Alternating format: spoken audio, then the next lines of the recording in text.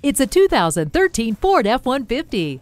People who value capability and efficiency in their work value the same thing in their truck. That's why Ford made the F-150 to outtow and out-haul any other truck in its class. It has a fully boxed frame that's the foundation of all its great capability, and it's engineered to withstand more punishment than you could ever dish out.